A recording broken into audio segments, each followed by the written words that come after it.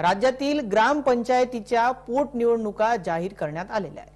तब्बल दोन हजार सहाशे वीस ग्रामपंचायतींसाठी ही पोटनिवडणूक होऊ घातलेली आहे. निवडणूक प्रक्रिया पंचवीस एप्रिल ते चोवीस मे दरम्यान पार पडणार आहे. राज्य निवडणूक आयोगाकडून महत्वाची घोषणा करण्यात आली.